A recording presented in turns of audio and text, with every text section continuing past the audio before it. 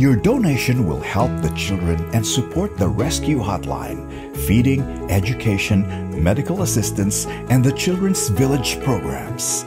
Donate now